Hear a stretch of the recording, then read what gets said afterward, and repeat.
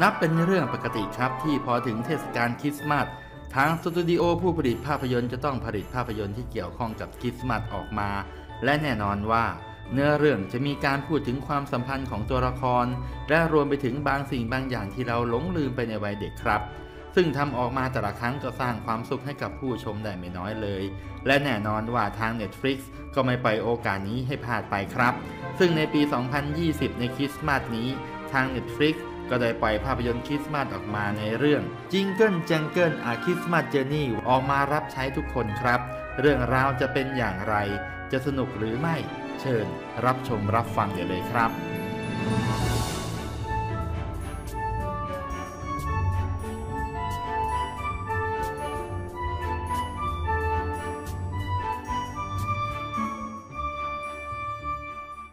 Jingle Jangle A Christmas Journey ในชื่อภาษาไทยคริสต์มาสมหัศจรรย์ เนื้อเรื่องน่าจะอยู่ในช่วงราวต้นศตวรรษที่ 20 ครับ เรื่องราวของนักสร้างของเล่นผู้ยิ่งใหญ่ที่ชื่อว่า Jeronicus Jangle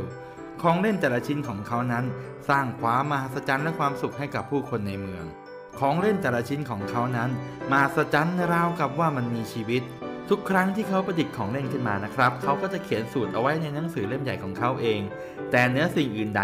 เขาสามารถเขียนสูตรการผลิตไว้ในอากาศได้ครับ และเขาก็จะมองเห็นสูตรนั้นแต่เพียงผู้เดียว ร้านขายของเล่นของเขาเป็นที่นิยมของทุกคน และในช่วงเทศกาลคริสต์มาสทุกคนก็ต่างมารุมซื้อของเล่นของเขาด้วยกันทั้งสิ้นครับ เจโรนิคัสมีเบื้องหลังความสำเร็จคือภรรยาสาวแสนสวยที่รักกันมากเลยครับ มีลูกสาวแสนน่ารักที่ฝันว่าโตขึ้นแล้ว เธอจะเป็นนักประดิษฐ์ที่ยิ่งใหญ่ให้ได้เหมือนพ่อ ส่วนในร้านขายของเล่นนั้น ก็ยังมีลูกน้องอีกหนึ่งคนที่ชื่อว่ากูสตัฟสันที่ฝันว่าจะเป็นนักประดิษฐ์ที่ยิ่งใหญ่ให้ได้เช่นกัน แต่ตัวกูสตัฟสันนั้นมักจะประดิษฐ์สิ่งของต่างๆออกมา แต่ไม่ค่อยประสบความสำเร็จครับ มันไม่ค่อยทำงาน และไม่สามารถแก้ไขปัญหาเครื่องยนต์กลไกบางอย่างที่เขาผลิตได้ แต่โชคร้ายมากๆเลยครับที่เจโรนิคัสก็ไม่มีเวลาที่จะสอนเขาเลยครับ มันเป็นสิ่งที่ฝังใจกูสตัฟสันเป็นอย่างมากเลยครับ วันหนึ่งเจโรนิคัสสามารถผลิตหุ่นยนต์ที่สามารถพูดได้ สนทนาได้ และคิดเองได้ แต่หุ่นยนต์ตัวนี้นะครับเมื่อรู้ว่าภายหลังจะมีการผลิตหุ่นยนต์แบบนี้ออกมาอีกหลายตัว ก็เกิดอาการน้อยเนื้อต่ำใจครับ พูดยุยงให้กรุ๊ปสตาฟสันหักหลังเจโรนิคัสโดยให้ขโมยสมุดจดบันทึกสูตรทำของเล่นของเขาไปเลยครับ และทั้งสองก็ออกไปตั้งร้านของเล่นใหม่เพื่อแข่งกับเจโรนิคัสไปเลยครับ เมื่อเจโรนิคัสไม่มีสมุดจดของเล่น รวมถึงหุ่นยนต์ปัญญาประดิษฐ์ที่เขาสามารถคิดค้นขึ้นมาได้นั้น เขาก็กลายเป็นคนเศร้าโศกเสียใจ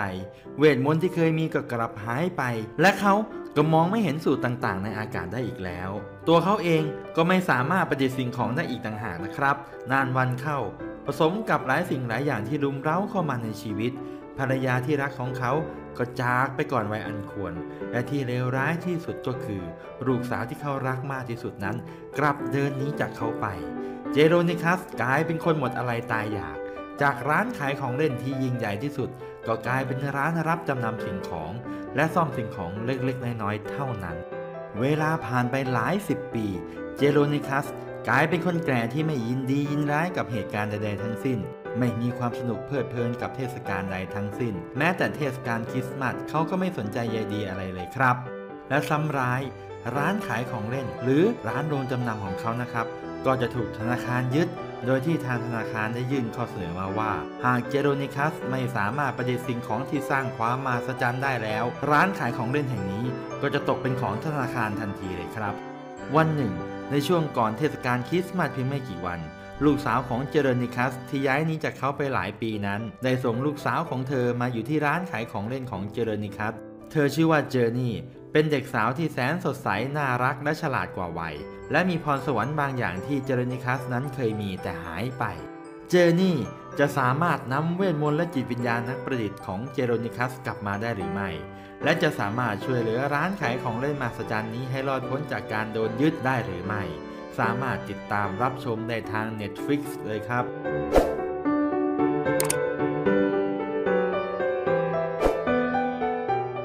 Jingle Jangle A Christmas Journey เป็นภาพยนตร์คริสต์มาสที่ดูแล้วมีความสุขมาก ๆ เลยครับ เป็นหนังแนวเพลงแฟนตาซี ที่เหมาะกับเทศกาลคริสต์มาสมากที่สุด ก่อนอื่นเลยต้องขอชื่นชมว่า ทีม production นั้นทำงานออกมาได้ดีมากเลยครับ มีความพิถีพิถันเป็นอย่างมาก ไม่ว่าจะเป็นทีมแต่งหน้า ทีมเสื้อผ้า ทีมหน้าผม ทีมฉาก ทีมการออกแบบทั้งหมดทำออกมาได้ดีมากๆ มันมากจนผมคิดว่าน่าจะมีชื่อเข้าชิงรางวัลออสการ์ไม่ว่าสาขาใดก็สาขาหนึ่งเลยครับ หนังมีวิธีการเล่าเรื่องที่ดี มีการใช้เทคนิคพิเศษและแอนิเมชันได้อย่างเหมาะสม ลงตัวและสวยงาม การเดินเรื่องการเล่าเรื่องก็ทำได้ดี ดูแล้วเพลิดเพลิน ไม่มีจุดไหนน่าเบื่อเลยครับ แต่ที่ดีงามมากๆก็คือเพลงที่ใช้ในเรื่องนั้น แต่ละเพลงทำออกมาได้ดีมาก แม้จะเป็นหนังแนวโทนย้อนยุค แต่เพลงที่เขาทำออกมานั้น มีความเป็นสมัยใหม่ครับน้ำเสียงของผู้ขับร้องท่วงทำนองและเนื้อหาของเพลงนั้นก็ดีมาก แม้หนังจะมีความเป็นมิวสิควลค่อนข้างมาก มีเกือบทุกๆ 10 นาที แต่ก็ไม่มีจุดไหนที่น่าเบื่อเลยสักนิดครับ และมาครั้งนี้ Netflix เขาใจดีซะด้วยนะครับ เขามีภาคไทยให้เรารับชมด้วย และการภาคเสียงไทยนั้นก็เป็นเสียงที่เกิดจากนักภาคมืออาชีพ ฟังแล้วไม่ขัดหูแน่นอน พอถึงในช่วงที่ตัวละครร้องเพลงนั้น ทาง Netflix เขาก็ให้นักร้องคนไทยมาร้องเพลงประกอบให้ด้วยนะครับ เสียงดีเลยทีเดียว เนื้อเพลงก็เป็นภาษาไทย เนื้อดีไม่แพ้ภาษาอังกฤษเลยนะครับ ดังนั้น เด็กๆ ที่รับชมก็สามารถรับรู้เรื่องราวต่างๆ และอารมณ์ต่างๆ ของตัวละครผ่านบทเพลงได้ ส่วนผู้ใหญ่ผมขอแนะนำให้ชมเสียงภาษาอังกฤษนะครับ เพราะจะได้ดื่มด่ำกับอรรถรสของเสียงเพลงได้อย่างเต็มที่ครับ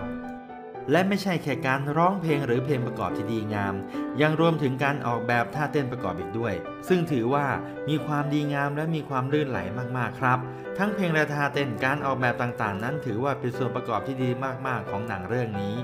Jingle Jangle A Christmas Journey จะเป็นหนังที่ทำให้คุณนั้นดูแล้วรู้สึกมีความสุขมาก ๆ เลยครับ ส่วนเรื่องราวการแสดงนั้นนับว่าหายห่วงเลยครับ เขาเอาดาราระดับออสการ์อย่างฟอเรสต์วิทเทเกอร์มารับเป็นบทนำเลยนะครับ ส่วนตัวประกอบทุกคนก็เล่นได้ดีมาก ส่วนตัวน้องแมดาเลนมิลส์รับบทเป็นเจอร์นี่ เธอน่ารักสดใส และเหมาะกับหนังเรื่องนี้มากๆ พอดูเธอเล่นแล้ว ก็ทำให้โลกใบนี้สดใสสวยงามขึ้นมาทันทีทันใดเลยครับ ส่วนสำคัญที่สุดก็คือหัวใจของเรื่อง แน่นอนว่าหากเป็นหนังแนวคริสต์มาสก็ต้องพูดถึงหัวใจสำคัญของวันคริสต์มาสก็คือ ความสำคัญของครอบครัว ความสัมพันธ์ของตัวละคร ซึ่งเขาก็ถ่ายทอดจุดนี้ออกมาได้อย่างดีมากๆเลยนะครับ อีกเรื่องหนึ่งก็คือคริสต์มาส แม้จะเป็นเทศกาลแห่งการให้ แต่หนังเรื่องนี้นั้นไม่ใช่แค่การให้ของขวัญนนะครับ แต่เป็นเรื่องของการให้โอกาส การให้อภัย ซึ่งการให้โอกาสและการให้อภัยที่ยิ่งใหญ่ที่สุดนั้นก็คือการให้โอกาส และการให้อภัยตัวเองนั่นเอง ซึ่งเป็นการตีความของทีมสร้างที่ค่อนข้างแตกต่างไปจากขนบหนังคริสต์มาสโดยทั่วไป ในจุดนี้ผมถือว่าเป็นจุดประเสริฐที่สุดของ Jingle Jangle A Christmas Journey เลยทีเดียวครับ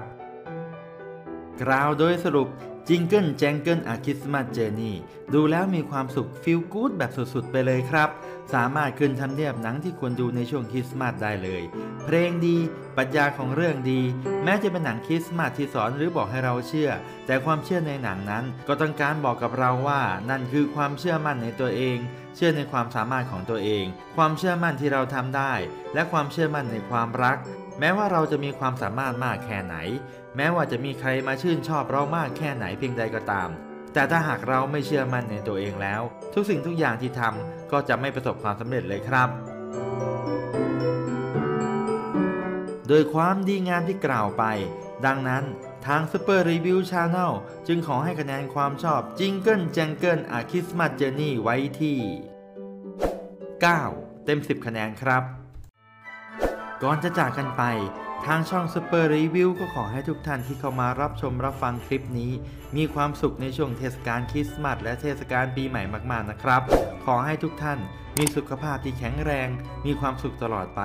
และขออนุญาตกล่าวคำว่า Merry Christmas and Happy New Year ครับ